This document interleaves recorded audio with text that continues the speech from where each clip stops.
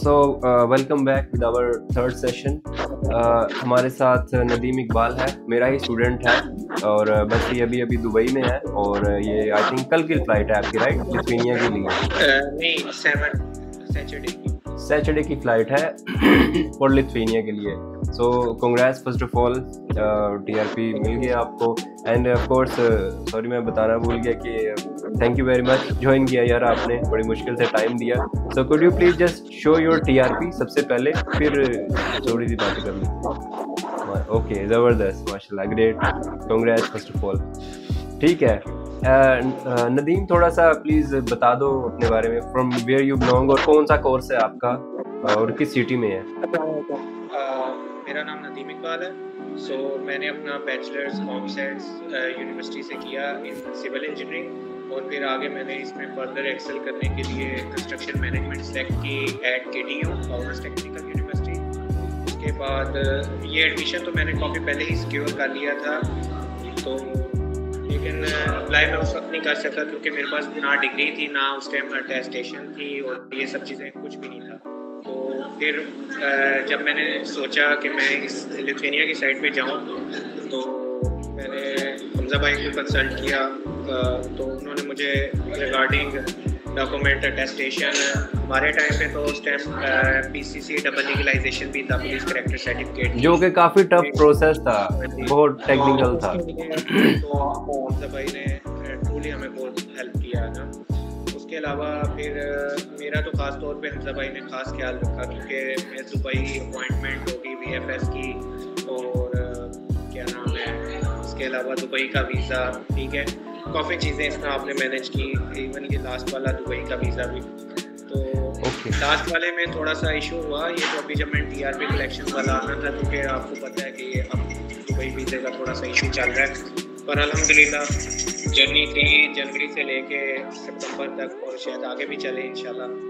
तो ये अब टी आर पी तो आज मैंने आज ही मेरी फ़्लाइट इधर लैंड की साढ़े ग्यारह वहाँ से मैं ट्रैक वापी मॉल गया।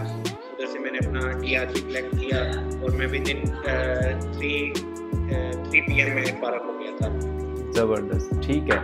अच्छा आ, तो कोर्स आपका क्या है? किस सिटी में है? ये आप सॉरी बताना भूल मेरा कॉमर्स में है कंस्ट्रक्शन मैनेजमेंट 1.5 ईयर का कोर्स है थ्री सेमेस्टर थ्री सेमेस्टर है। ठीक है उसके बाद आपको पोस्ट वर्क वीज़ा मिलेगा जिसमें आप एक साल का काम कर सकते हैं जॉब आपको ढूंढ सकते हैं। Okay okay. ठीक है। सो so, uh, uh, नदीम इस पूरे प्रोसेस में like how was your experience कहाँ मुश्किल आई?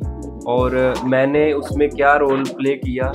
और मेरी रोल प्लेयरेंस कैसी थी? कोई नेगेटिव बात मेरे लिए या मैं कहीं पे उसको पूरा नहीं कर पाया या मेरी फ़ीस ज़्यादा हो तो उसके लिहाज से थोड़ी सी प्लीज़ बता दीजिए। अच्छा मैं आपको इसमें दो चीज़ें बताता हूँ जो शायद सबसे ज़्यादा आ गया एक तो वी एफ़ एस की अपॉइंटमेंट सिक्योर करना सबसे बड़ा मुश्किल काम है।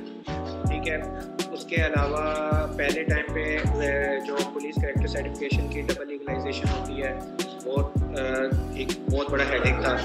उसके अलावा अब बीच में ये हॉस्टाइल वाला भी हेडेक आया, वो भी आपने गाइड किया, जो हमारी मिनिस्ट्री ऑफ़ फॉरन अफेयर ने स्टार्ट किया है। उसमें भी काफ़ी शुरू टाइम में दिक्कतें आ रही थी, जैसे अपॉइंटमेंट उन्होंने स्टार्ट की, उसके अलावा और चीज़ें। तो ये था। उसके अलावा लास्ट में ये दुबई का वीज़े का इशू था, थोड़ा सा अलहमदिल्ला वो भी हम लोगों ने मिल के हल किया। बाकी आपकी मतलब आपने जो चार्ज किया उसके लिहाज से तो बहुत मिनिमल है जितनी आपने सर्विसेज़ क्योंकि आपने पर्सनली अपने भाइयों की तरह डील किया है। तो ये मैं आपको शुक्रिया भी कहता हूँ और इन आगे आने दुनिया में आपकी गाइडेंस की ज़रूरत होगी क्योंकि आप बिल्कुल ज़रूर। सो so, uh, आखिर में कोई बात पब्लिक के लिए स्टूडेंट्स के लिए कुछ भी मेरे हवाले से या प्रोसेस कैसा था या लिथुनिया कैसा लगा या कैसा लगेगा क्या है माइंड में? ये बता देखिए अगर आपने खासतौर पे यूरोपियन कंट्रीज़ का थ्रू आउट मैंने मेरे फैमिली में भी कुछ ऐसे जो यूरोपियन कंट्रीज़ में रहते हैं मैं उनके प्रोसेस से मुझे ये तो अंदाज़ा था कि यूरोपियन कंट्रीज़ का प्रोसेस कॉम्प्लिकेटेड होता है, लेकिन इनका ये है कि रेशो अच्छा होता है। मतलब अगर आपके डॉक्यूमेंट्स हर चीज़ कंप्लीट है तो आपको मतलब वीज़ा मिल जाता है। इसकी नस्बत ऑस्ट्रेलिया या अगर उस साइड कोई जाता है तो उनके, यानी कि वो पैसे की किस्म की गेम है। लेकिन यहाँ इतना खर्चा नहीं है। लेकिन यहाँ आपको थोड़ा हेडेक लेना पड़ता है, इसलिए आपको गाइडेंस चाहिए होती है किसी ना किसी की।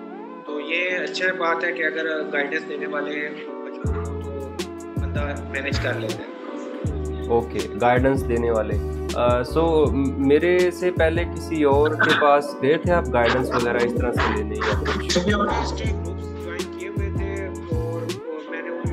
कोशिश की लेकिन कोई खास नहीं मिला। लेकिन आपकी यूट्यूब चैनल को तो मैंने यूट्यूब चैनल से ही आपको अप्रोच किया था। Alright okay alright and at last कुछ ग्रुप्स भी बने हैं। मैंने, मुझे मेरे दोस्त बताते हैं इस तरह से कि नेगेटिविटी फैला रहे हैं लोग। तो ये क्या क्या फैला रहे होते हैं? ये क्या चक्कर है? इनको, इनके लिए क्या मैसेज है आपका?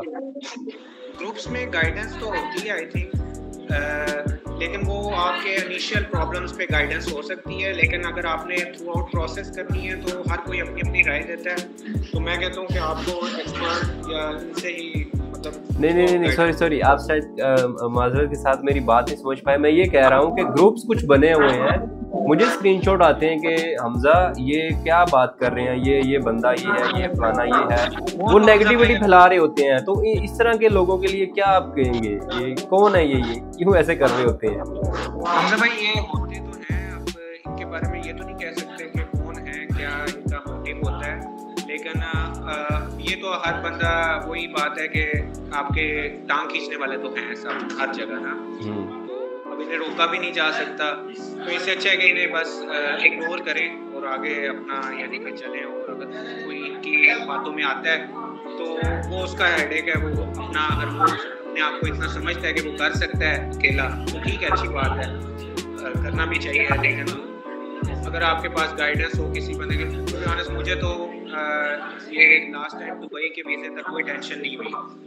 मैं आपको सीधी बात बताऊँ लाइक जब मेरी आपको पता है कि हेल्थ इंश्योरेंस मेरी अपडेट नहीं थी हम्म, हम्म। वो आप मैं इधर पहुँचा हुआ था मेरे जहन में भी नहीं था वो आपने रिन्यू करवा के भेजी थी मुझे। यानी कि अगर वो मैं जाता उधर ऑफ़िस और मुझे पता चलता कि मेरी रिन्यू है फिर मैं आपसे पता कि आपने उस टाइम आपने अपने तौर पे ही हेडेक लिया और कर लिया मैं इसका भी शुक्रिया अदा बिल्कुल ऐसे ही है बस कुछ फालतू लोग इस तरह से ना वो नेगेटिविटी फैला रहे होते हैं तो बताने का मकसद बताने का मकसद ये है कि कहीं पे कुछ ना कुछ गंदी मछलियाँ होती हैं तो वो अगले को भी ख़राब करने की कोशिश करती हैं तो just stay away from these people वो आपका भी काम ख़राब करेंगे ना खुद आगे बढ़ेंगे ना अपने आपको भी बढ़ने देते हैं इस तरह के लोग जो है ना। तो हाँ अगर कोई गलत मैंने कुछ किया है तो ठीक है वो जस्ट गिव अ प्रूफ और लेट स्टार्ट जो भी उस पर हो सकता है बट इस तरह का कोई सीन नहीं है। गलत क्या हो सकता है मैक्सिमम किसी के पैसे खा लेना या इस तरह से? हाँ हमेशा रिफंडिंग की है। आई थिंक आपको भी मैंने रिफंड किया है। काम नहीं हुआ। मैंने कहा सॉरी ये ले लीजिए। वो कोई दुबई के वीज़ा का इशू था। कोई वन लाख ट्वेंटी थाउज़ेंड थे आपके। तो आई थिंक वो मैंने रिफंड कर दिए थे। इवन कि हम दूर रहते हैं ना कभी मिले हैं ना कुछ है ना कोई सीन है। तो राइट तो आ, ये आप खुद भी बता सकते हैं कि मैंने आपको वापस दिए हैं। ओके बस वो आखिरी टाइम पे थोड़ा सा हुआ इशू वरना वो भी हमने सॉल्व मिल बैठ के सॉल्व कर लिया। हाँ ओके तो सिचुएशन ओवरऑल ही कॉम्प्लिकेटेड थी पूरे पाकिस्तानियों के लिए। बिल्कुल बिल्कुल वीज़ा बंद थे। तो मैंने आपको रिफंड कर दिया था। तो आपने फिर उसका खुद कुछ ना कुछ किया और फिर हमने उसको सॉर्ट आउट कर लिया था। और राइट ठीक है Nadeem. Thank you so much ठीक है? जब आप लैंड हुए लिथुनिया में थोड़ा सा हेलो हाय हमें भेज दीजिएगा वीडियो हमें भी स्कूल मिल जाएगा, हमारा स्टूडेंट पहुँच गया है। ठीक है? ओके थैंक यू अल्लाह हाफिज़